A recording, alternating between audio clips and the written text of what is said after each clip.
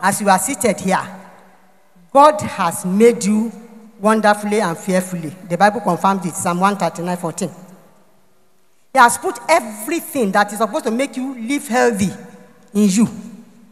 He has put in you, the day you are born, the day you are being conceived, even in the time, He has put in you all disease detecting mechanisms, those things that can detect whether you have disease, whether disease is entering into your system or not.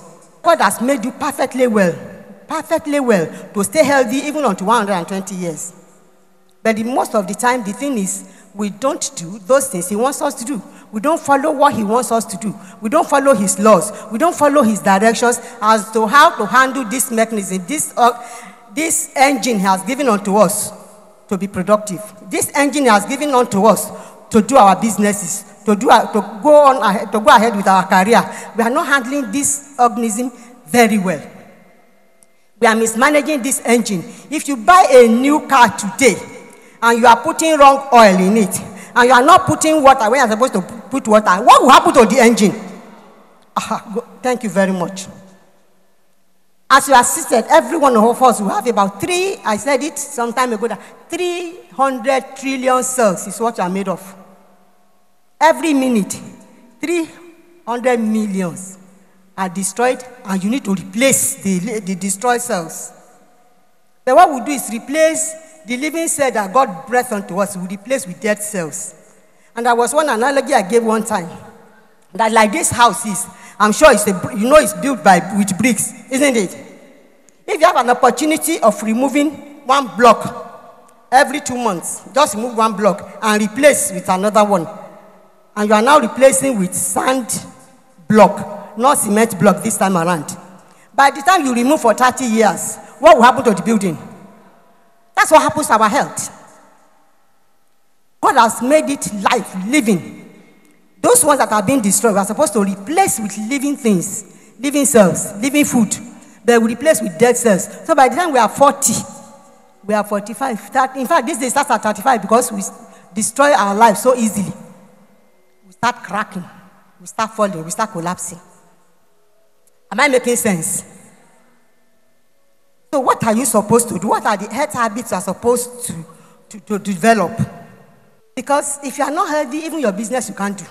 Agree, let's agree you can even do some business and make some money. You will end up spending that money in the hospital. You end up going from one doctor to the other, treating one thing or the other. Please, by the time I finish today, I want you to become my disciple. And I'm happy I'm having so many disciples now. Like about four days, my father called me and said, Mommy, I think I want to follow your, li- your lifestyle. I want to be living healthy now because I want to live healthy for my children.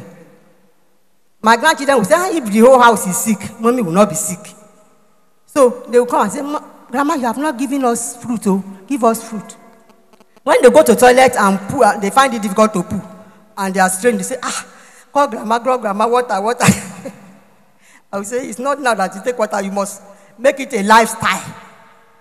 So please build up a health habit that will improve your health. If you start today, your health will improve. And what made me to start was a lot of health challenges that I had. People's I bounce now. I'm healthier, I'm stronger, I'm energized to the glory of God because I decided to research into what can make me healthy, what can keep me strong.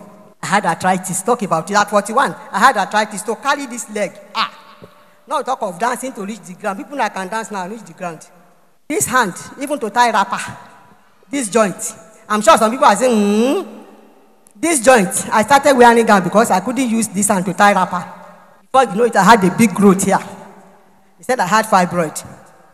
And to finish it off, by the age of 48, um, by 40, I started doing my medical checkup. Every year, I go to do medical checkup. But at one time, they said I had precancerous cells of the cervix. That is, my cervix started having signs of cancer. Is that not so? So I just thought to myself, ah, ah, but people in the Bible lived for so so years and they were healthy. At 65, Mama Sarah entered the place and the man said, Don't tell them you are my wife. oh, torí bó ṣe wà péńpéń yìí." And when, the, when she entered the town, they said the, the, the guys in the town went to meet the Oba and said, ah, ah, a damsel at 65, damsel bibawo. Ati dakejekeje. Am I lying? So I just thought to myself, what were the things we were doing then? What were the things they were doing then that was making them healthy, that was making them to live longer? And I searched the scriptures. And that's everything on, in life. Everybody I talked to, they talking about. Everything that in life actually hangs on the scriptures. And the first thing I discovered was the food. By today, all these pains are gone. The first thing that went, the first thing that went was the arthritis. I just discovered I could move my leg, I could bend down, I could come. Ah, I was like, eh. So when they said I had precancerous cells of the cervix, I went for six months without eating cooked food. I was eating raw food, vegetables and fruits. For six and everybody in my house was like, ah, hallelujah diet. I said, ah, is that the diet I'm on now? Because I don't want to die. I want to live long. So I about that. I'll be there. I'll be available. After six, the doctor said I should be doing my, you know what they call? They just take something from your cervix. Every woman, when I get to medical checkup, I'll talk about it. Every woman must do pap smear. So it was at this my pap smear that they discovered that these cells were had problems. So what I should have been doing every five years, the doctor now said I should be doing it every six months. Say, well, allowed today.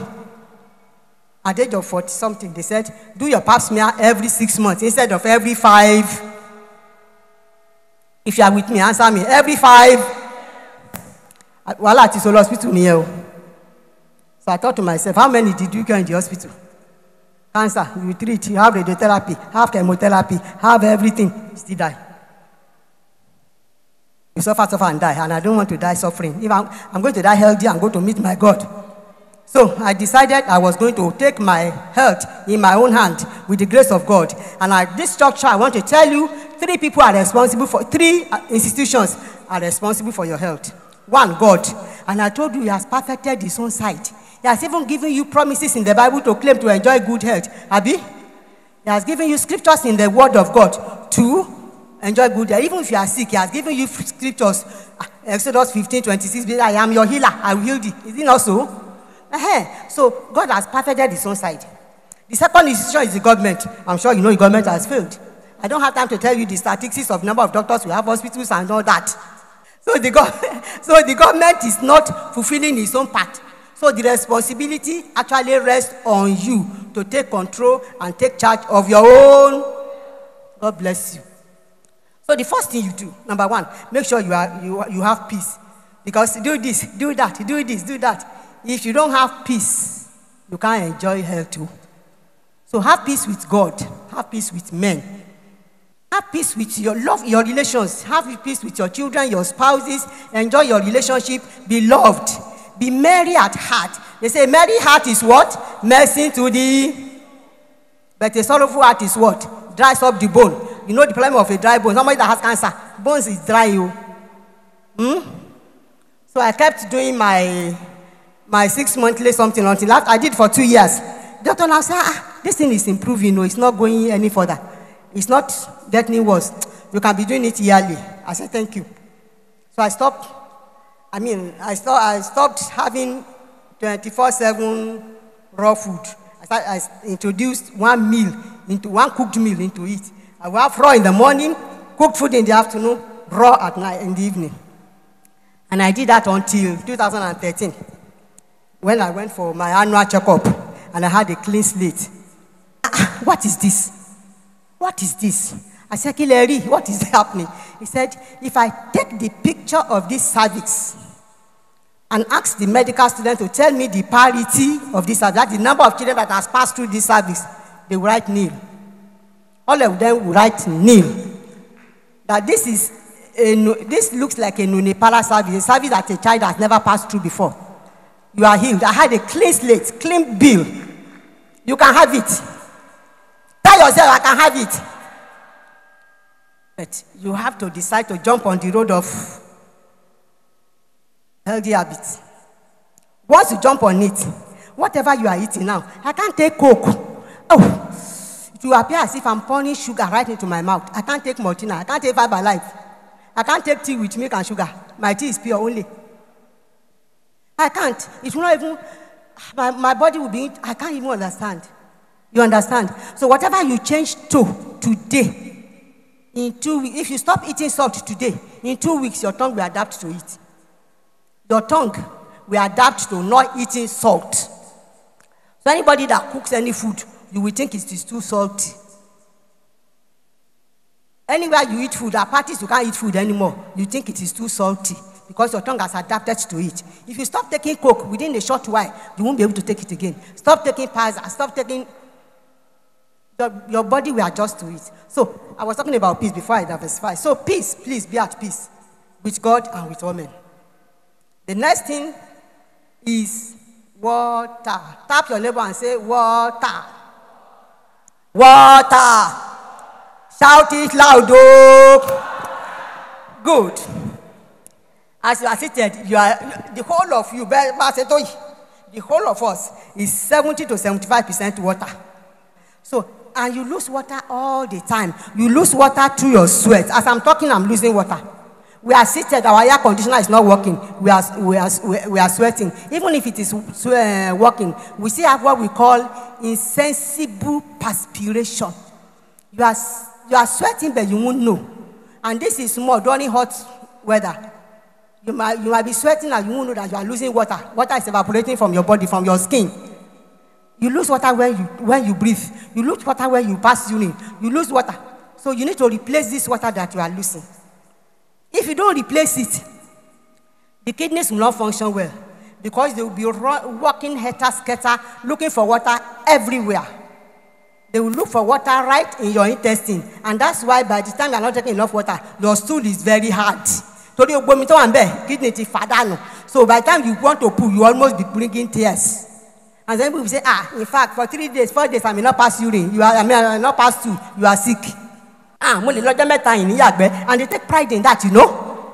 You are sick. Because the kidneys have removed all the water in your stool. And therefore, you cannot have normal stool. It becomes so hard. And if it stays there for too long, it starts to, if your stool stays in your intestine for too long, it starts to decay. And before you know it, they say, ah, cancer of the colon, wahala day. So I'm saying that anytime your stool is hard, you are not taking enough water. Anytime you pass through and it, it stands, bam, you can hear the sound inside the closet, you are not taking enough water. Or it goes down this closet, kò sí lókè, ó kàn lọlẹ̀ gbìmọ̀ dúró síbẹ̀, you are not taking enough water. Okay? If you pass urine and your urine is smelling, you can perceive smell your, from your urine, you are not taking enough water. If your urine is dark, yellow, or brown. It should just be a little darker than water. We call it amber color. That's the, that should be the color of your urine. Anything outside that, you are not taking enough water. And it causes so many things if you are not taking water. Your skin, the kidney I told you will look for water everywhere. Said even your stool. It will look for water in your skin. That's why before we are 40, 50, we start to wrinkle. Your, your skin will wrinkle fast. Water is a moisturizer, it moisturizes you from within. What did I say? It moisturizes you from, you don't have to look for moisturizer. I don't use moisturizer. I use Ori and Oshedudu. It moisturizes you from within. You feel fresh. Water washes away excess salt, excess fat. The benefits are too many. But even if you don't know the benefits, please drink water. I can't emphasize all the benefits because of my time. I still have so many things to talk about. How do you know the quantity of water you will take? How? Just take your weight. Once your whatever your weight is, divided by what? Divided by 30. Whatever you get, whatever the result is, is the minimum quantity of water you must take per day. Am I making sense? Divide your weight by 30. Whatever you get is the minimum quantity of water you must drink per day. If you are 90, if you weigh 90, divide by 3, what is it? Divide by 30, what is it? Like if I'm, I'm like I weigh 62. Okay, let's put it out. Let's add it up to 60. I weigh 60. Divide by 30, what will it give me? That means every day I must not take less than 2 liters of water. Are you getting it? I'm sure if I ask you how many people have taken two cups of water today, ah, lepo. If you have taken two, three cups of water this morning, raise up your hand today. Akere niye. And you are supposed to take the minimum of people. They just put it at eight meters, eight, eight cups, but I don't. have researched and because the, num- the quantity of water you take depends on so many things. It depends on your weight. If I'm weighing 90 and you are weighing 60, we cannot take the same quantity of water. It depends on your activity. Somebody is just seated, a sedentary person, and somebody who is breaking stones. One will sweat more than the other. The one that is breaking stone will need more water. Is that not so? Eh. Uh, so many reasons. Even your health, your state of health can determine whether you take more water or not. If you're on drugs, you take more water to flush it out, to help your liver and the kidney to handle the drugs. You need more water. But on general level, the minimum quantity of water you take, you, you divide your weight by 30, whatever you get, that's your mm, uh, quantity, the quantity of water, the minimum quantity of water you must take per. Tell your neighbor, take water. Tap your neighbor, tap, tap, tap, tap, tap, tap. Take, take water and stay healthy. Let me give you an example I had last week. We had a, we had a child. Hmm? And she, every time headache, headache, headache, headache. Ah, You know, we did everything possible, every test and all, and no cause. It just occurred to me. I just called her last week. I said, Yeah, by me. Do you know we have been running around and spending money? All you need is water. oh." Say, Mommy, but I don't like drinking water. In a day, she may, I, had- I discovered that in a day, she may not drink more than a cup of water. I said, That is why you are having a headache. Start today. What's your way? She told me. I said, okay, take this cup. This is the cup you must be using every day. Use, take three of these cups every day. Yesterday, I wanted to have a testimony for you. So I, I called her to ask. So I said, Okay, mommy, it has really improved. Don't improve, gone you. Don't see what there. Money cannot go within a week now. We just started this water. So the major cause of a migraine headache was dehydration. Dehydration can cause so many things. Please take water. It's the best moisturizer. It's the greatest medicine on planet Earth. God knows that it is so so important. That was why when He told the children of Israel in Deuteronomy 8 7, He said, "I'm taking you to a good land. In that land, what do we have? Fountain of water, springs, and all. It's water. The first thing that made that land to be good is water." And he made it so cheap because it is so cheap. I told the guy, I said, if I'm giving you medicine that will be costing you 1,000 per day now, you will send everywhere to give, to give us money or to give you money to buy the medicine. But because God made water so cheap and available, we don't care. We don't respect it. Please respect water. Tell your neighbor, respect water. Respect water.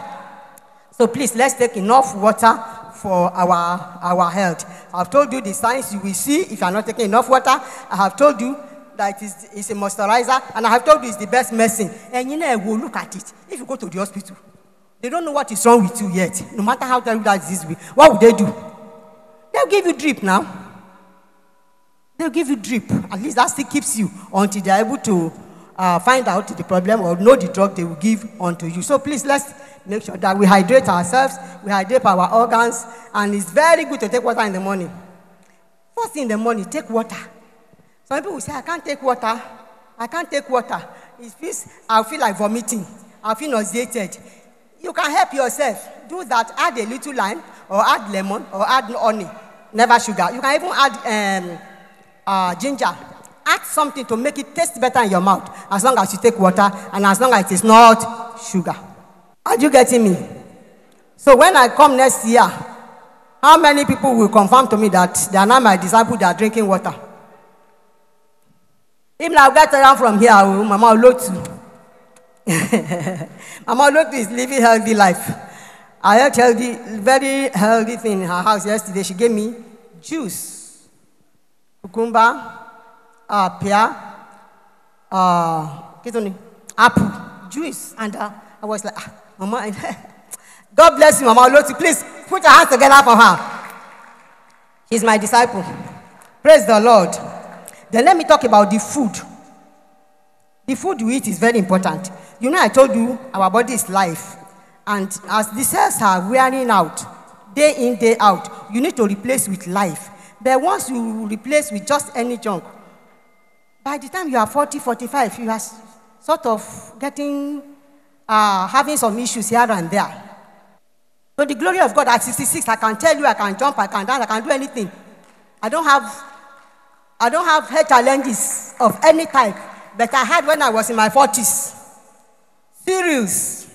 When you talk of bundle of health issues, There, there I was. But to the glory of God, I follow what God will do. And to, I'm just enjoying good health. I'm just enjoying good health. And I make so many things natural. Somebody said, I mean, look, ah, so many things we do. God will help us. Eat good food. And the good food, mainly what I would recommend, the food that are good. Hmm? Fruits, vegetables, tubers, legumes, grains, nuts. I said the foods that are good for you, oúnjẹ tó dáa fún ara, they are vegetables and fruits. Tubers, àwọn iṣu, not flour.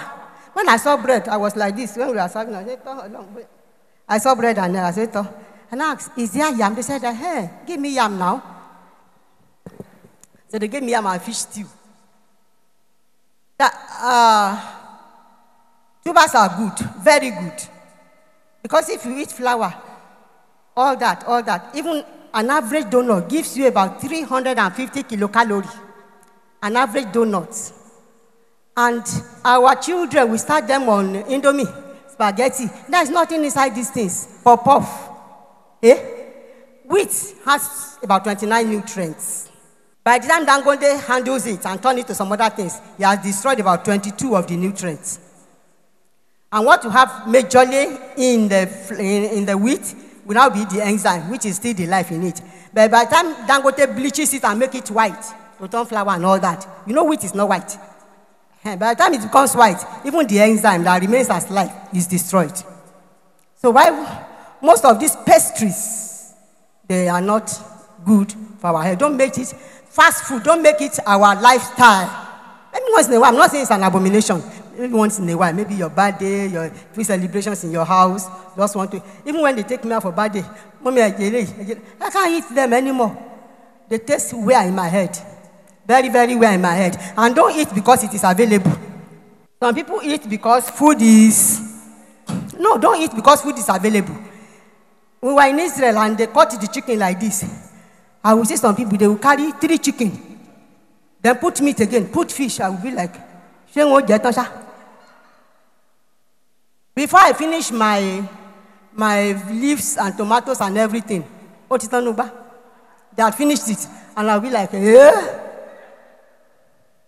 Not less eat because it's available. If I want to eat, like I thought when I was selling meat, if I want to be eating about this shark every day, every day, I could afford to. But I don't. Maximum of one piece, small piece for per every day. Are, this morning, he will put meat or whatever in my say, is this meat? Said, ah, instead of the meat, please give me a sour fish stew. And he gave me. I enjoyed my, my food. God bless you, Mama. So, eat good food. And the major food God wants us to eat, actually eat. You can read it. Genesis 1 29, food. God, God made us vegetarian. That's why in the first 1,700 years on planet Earth, there was no single report of disease. No single report of illness. And people were living 900 years, 900, 900 and something, 800 and something. They were living healthy and, and long. But post we started eating everything available. And then our life expectancy reduced to 120. But somebody came up a thousand years after Daniel and said, You know what? I don't want to defile my body. I don't want to defile my body with the king's meal. I better just, just put me on pulse and water, beans, things in that realm, and water. And he did that within 10 days. The Bible said he was better in intelligence, physically, everything, than his peers that were eating the king's. He was better than people that were eating the king's meal because he lived on life diet. Let's live on life diet. It will help us to rebuild better. Everything that has been wearing out in our body will be built back. The one that surprised me was this big, huge lump that I had here. Eh? They call it keloid. It will stop my wristwatch. I just discovered that. ah, I looked at it. I, found, I, I sought for it. I couldn't find it again. It has disappeared without using anything but obeying the rules of the Lord according to what we should eat. God will help us to eat right in Jesus' name. So when you are going to eat, consider the nutrient of that food. Please, every day make sure you eat vegetables. You are here in one year. I cannot buy blender for myself. Raise up your hand. Lord, do come here. Afford the blender. And I was okay. In a year, I cannot afford to buy blender. So make it a birthday gift for yourself. Buy blender or smoothie maker. Put your fruit inside. Put blend it and drink it. I mean, when you're young, after the three years ago, after the meeting, if people went to my, came to my house with me, I wanted to go with them. I started blending. Say, mommy, ah, real food, la fẹ́ jẹ. Mo ní, ah, these fruits are not real food. Ah, kò lè yó mi. By the time I gave them, they were filled up. Pé ó ń yóyàn. Ó ń yóyàn. Tell your neighbor, fruits ń yóyàn. If you eat it well. And why I like the blending, why I like the blending is the fact that when you chew these fruits, it's been discovered that our body is able to access about 25% of the nutrients. But when you blend it, your body is able to access about 75% of the nutrients. Then if you juice it, you remove all the nutrients. All you are left with will be the shaft. Most times I don't throw away the shaft too. Your body will access about 90 to 95% of the nutrients. That's why I, get, I virtually almost gave up eating it. I either blend or I juice it. The Lord will help us in Jesus' name.